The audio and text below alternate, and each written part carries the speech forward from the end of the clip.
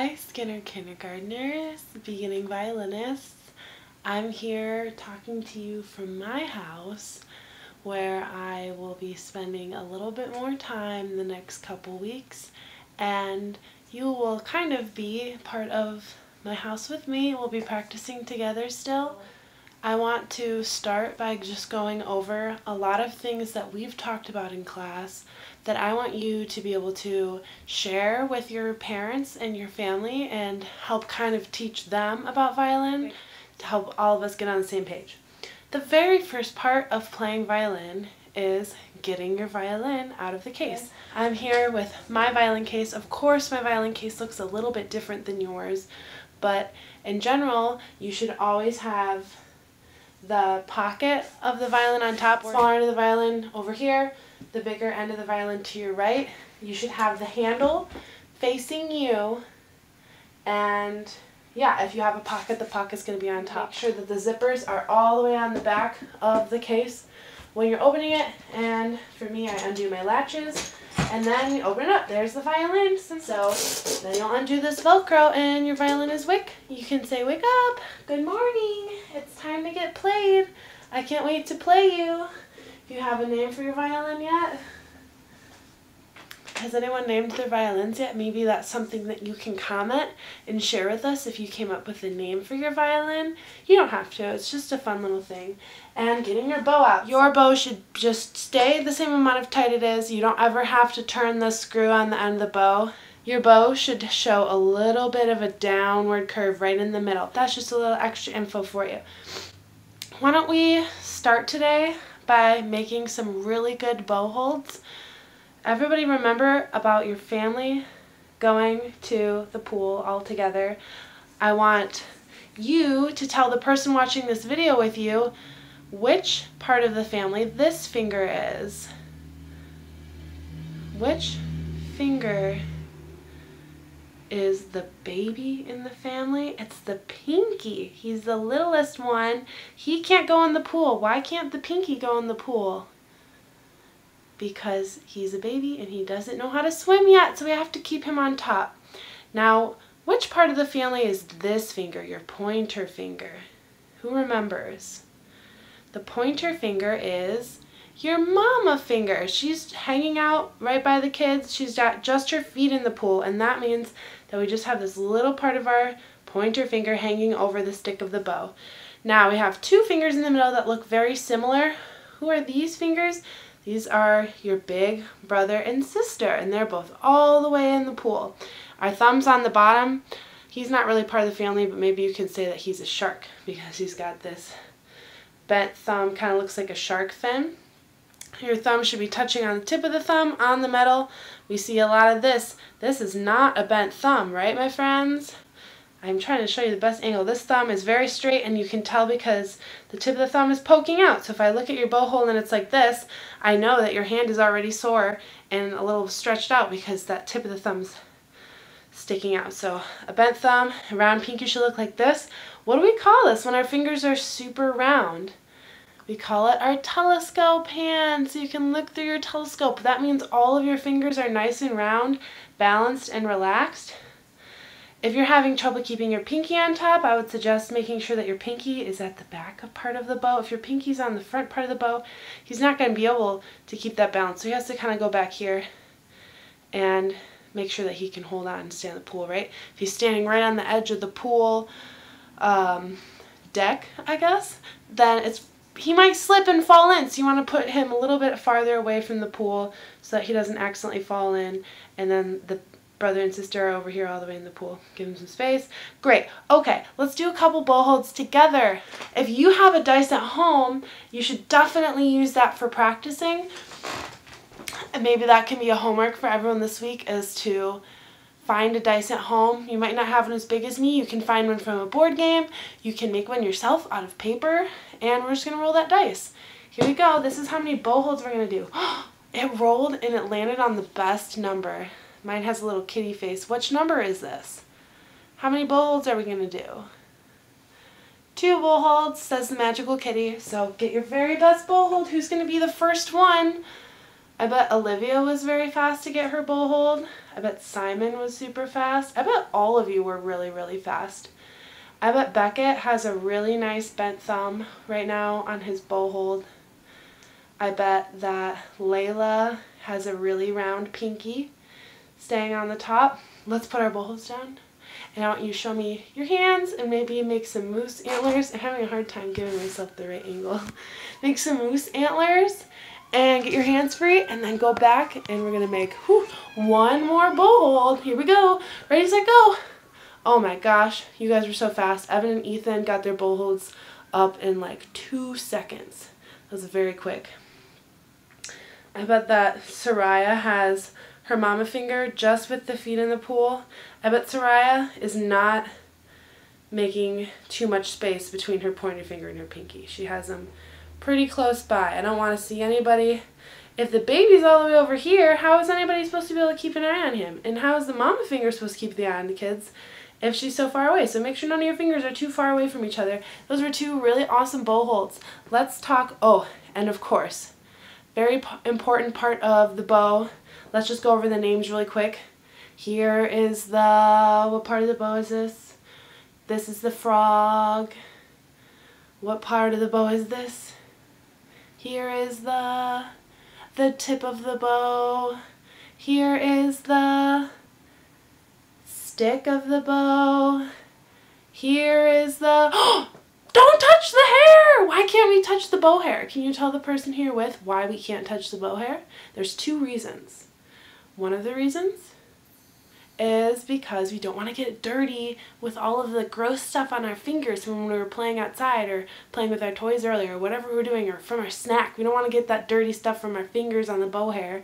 And two, we don't want to accidentally break the bow hair. It's very fragile and it gets dirty really easily. When it gets dirty, it doesn't work anymore. Who has had a bow so far this year that stopped working because it got dirty? Or maybe Taha can tell us about some kids from last year whose bows got dirty and they weren't working anymore. They would come up to me and say, Miss Mallory, my bow's not making any sound. So if you're at home, there's two reasons not to touch the hair, and if you're at home and the hair is not working, it's either because it's dirty and you need a new bow, or because it needs some rosin. Raise your hand if you rosin your bow today so far. I haven't rosin my bow today, so maybe we can talk about that a little bit too. This is a really awesome way for us to be able to talk about all the specific things about learning violin, and for me to be able to tell your parents everything about violin that's really important. So my rosin looks a little bit different than your rosin maybe next time I can show you a demo on your own rosin, but with any kind of rosin, which is made from, who knows what rosin's made from? It's made from tree sap, kind of like maple syrup. You gotta take the cover off. Boom, here's the rosin. My rosin looks a little bit different than yours. Yours has a wood block on the bottom. Mine has a little bit of plastic on the bottom, but this part you can tell what the rosin cake looks like because it's kind of shiny. It looks kind of like a piece of candy. Don't eat it though. It's not for eating. It's for your bow to eat.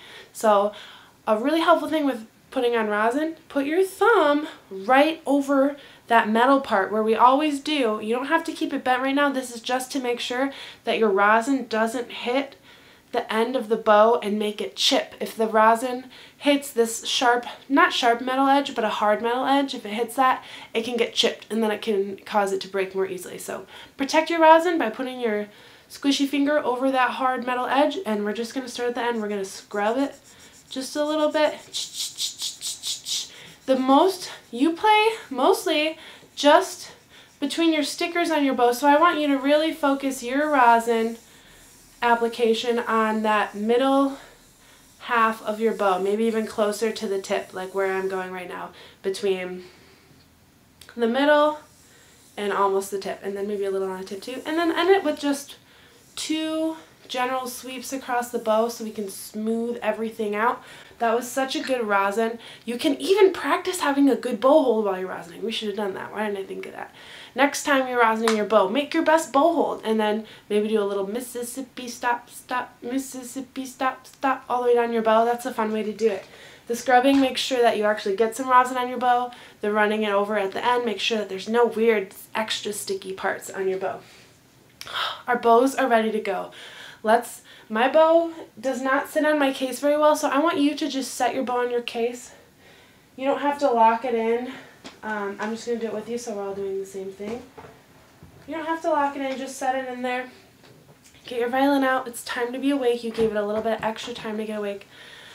Let's go over the parts of the violin super fast. We haven't done this in a long time at school, so it might be a fun way to get a little bit of review done today. What part of the violin is this? Does anyone know? I bet Olivia knows. It's the chin rest. What part of the violin is this? Who knows? I bet Josephine knows. It's the bridge. What are these called? The F-holes. You can say hello, and you can clean them out a little bit if you need to. Sometimes it makes a fun sound. These are the strings. Hello, strings. You're awake now. This is the scroll. You can tell because it's kind of swirly, like a cinnamon roll or a squirrel tail. This is the scroll, not the squirrel, but the scroll. And the pegs. Make sure that we don't ever touch the pegs. The pegs are for tuning, and the fine tuners down here are also for tuning. Um, if you need your violin tuned, I think I'm going to upload a different video on how to tune your violin at home with your parents' help. Um, never ever touch the pegs or the fine tuners unless you and your parents are working together to tune your violin. Okay, let's see who can stand in rest position the fastest. I'm going to kneel so that you can still see me in the computer screen, but you are going to stand up. And like we've done in class a lot of times before, when I'm kneeling and you're standing, we're kind of at the same level. So you stand, I kneel. Ready, set, go. Who's going to get there the fastest? Oh my gosh, you guys are so much faster than me. Here's rest position. I'm going to be the opposite of you when I'm standing and doing this. And so when I go out, we're going to kind of go in opposite directions. I'm going to try to give you the best angle. Okay. Thumb on the thumb spot. Let's test that. How many times should we tap our thumb on the thumb spot? How many do you think? Pick a number 1 through 5 and you tap your thumb on the thumb spot that many times. I'm going to do 3. One, two, three. And your rest of your hands holding onto the shoulder of the violin. Your bow arm. Oh man, I saw my reflection in that window behind me. It scared me. Your bow arm is going to cover over. I like to think that your bow arm is going over the chin rest, kind of like how your jaw will later. We want to make sure that we're not covering up the bridge, right? So this is called rest position. It's up against our side, right where our body kind of goes in a little bit. And maybe we can sing our song. Rest position, feet in line. Scroll out front, that's mighty fine. Check your bridge, cause it should be peeking out at you and me. Now it's time to take a bow. High toes, high toes, high toes now. What are we gonna do now? Oh, I remember now. We're supposed to go out.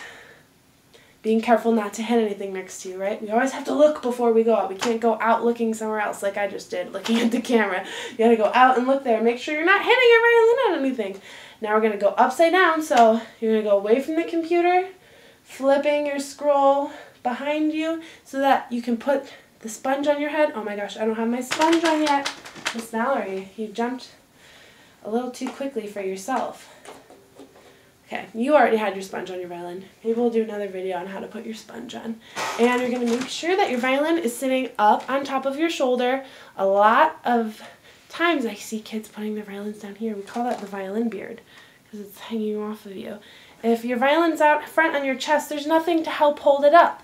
So make sure that you're touching it on top of your shoulder and your chin rest should be coming down right above where your shoulder is, maybe above your collarbone if, if you know where that is.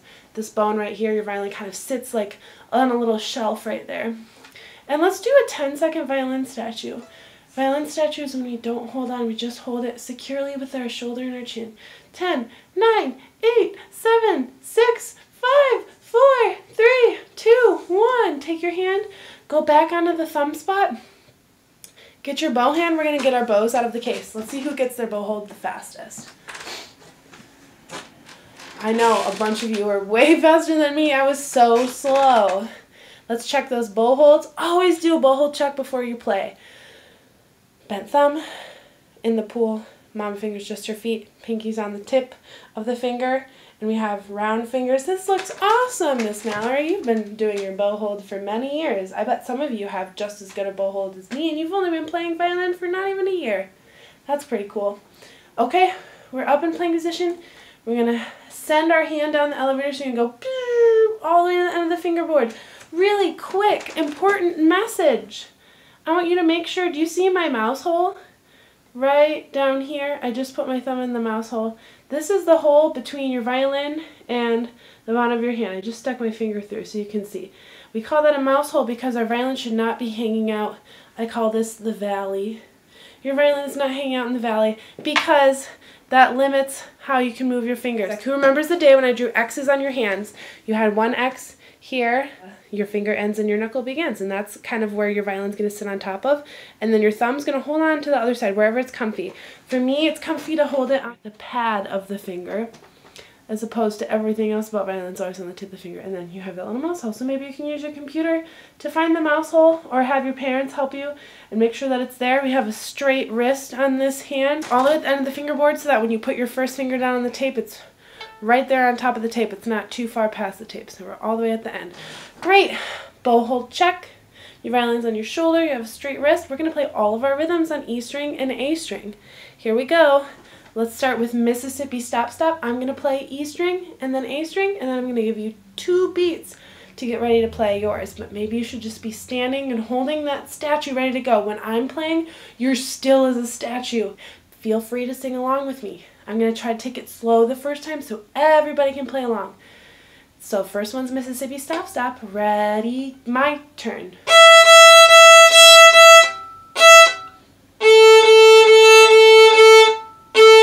Your turn.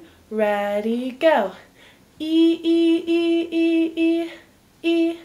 A, A, A, A, A, A. That was an awesome job. I love the way that you guys were using your elbow right to raise your bow from the E string to the A string. The second rhythm that we have for Twinkle is ice, cream, shh, cone. I'll play first and then you'll play.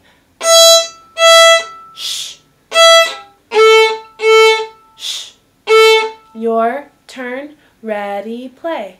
Ice cream, shh, cone. Ice cream, shh, cone. Who did up bow when they went on the A string? I'm going to play that for you one more time so we can make sure everybody is going up bow like this, whoop, where the frog and the fingers are going up on the A string. That's called alternating bows. So we always start with down bow and then do an up bow after that.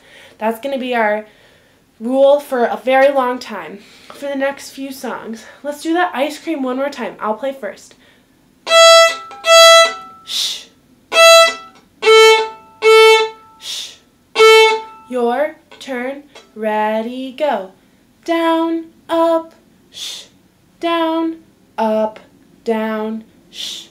Up. If you need to work a little bit more on ice cream shish cone, go ahead and pause the video and take some time to do that take an extra couple of seconds to go from the E string to the A string. And I'm going to show you how to do that and then you can pause and work on that if you need to.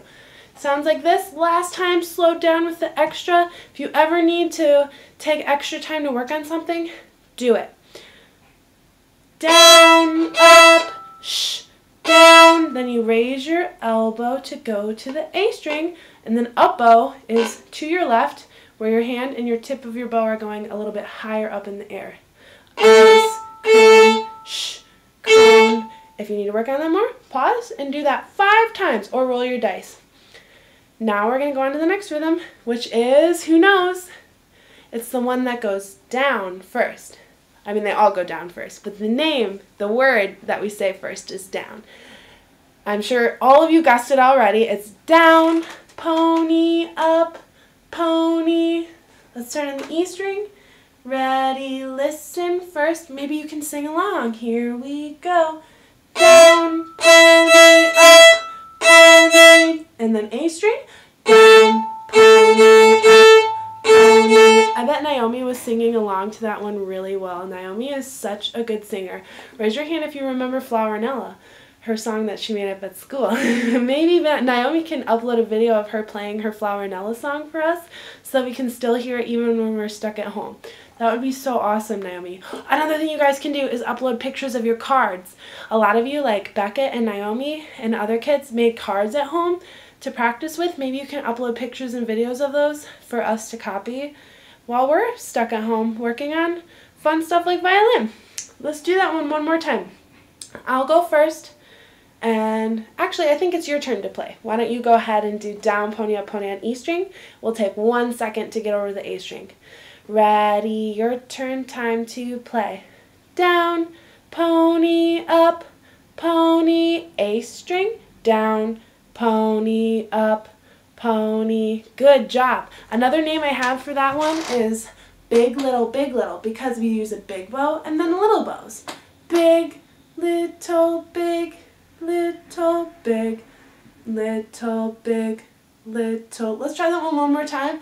We're going to play together at the same time this time, and I'm going to be saying big, little. When I say big, you're doing a big bow. When I say little, you're doing little. Two smaller bows. Little. That makes sense. Let's play together. Here we go. Bow on the E string. Good bow hold. Let's play. big, little, big, little, A string. Big, little, big, little. Who knows the next rhythm? It's one about fruits. Exactly. Strawberry, blueberry. How many notes do we play when we play strawberry, blueberry? It's six. Strawberry, blueberry. If I had another hand you, I'd show you the six. So I showed you it on my thumb. So we have six blueberries. I cannot eat any more than six blueberries. So please don't play more than six notes. Let's start by doing strawberry, blueberry when we play, and then we'll do one, two, three, four, five, six when we play. Here we go. Ready, set, play. Strawberry, blueberry, A string. Strawberry, blueberry. Good job. We're all playing together right now. Let's do one, two, three, four, five, six this time. So instead of saying strawberry, blueberry, we're going to play the same way, but we're going to say one, two, three, four, five, six. Ready, set, play. E string first. One, two, three, four, five, six. A string. One, two, three, four, five, six. That was awesome. What's our last rhythm? It's a different version of Mississippi Stop Stop. It's Mississippi is a river. You can set your bow down for one second and take your fingers and find out how big your nose is. How big is your nose? My nose is this big. And now hold it up to your bow, which is set on the ground. Find out how much bow you can use for each one of your bows when you're playing Mississippi is a river. These bows are going to be really, really small. And let's try to keep those bows a little bit short so we can keep track of what we're doing and it doesn't sound like mushy mushy is a river. We want to sound like Mississippi is a river. Um, I'll play first in this one and then you'll play after me. Why don't you sing along while I'm playing? E string first. Mississippi is a river. A string next. Mississippi is a river. Your turn. Good bow hold. E string first. Mississippi is a string. Mississippi is a river. Let's do that one one more time, maybe a little bit faster just for fun. Let's sing it together a little bit faster. Ready, sing. Mississippi is a river. Mississippi is a river. Keep that tempo. We're gonna play a little bit faster and we're not gonna pause between the strings. Bow on the E string. Here we go.